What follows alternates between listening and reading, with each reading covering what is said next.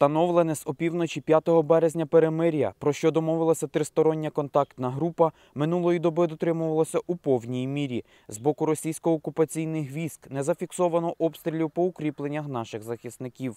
Ситуація по всій лінії розмежування сторін надійно контролюється підрозділами сил антитерористичної операції. Українські військовослужбовці суворо та неухильно дотримуються умов повного припинення вогню.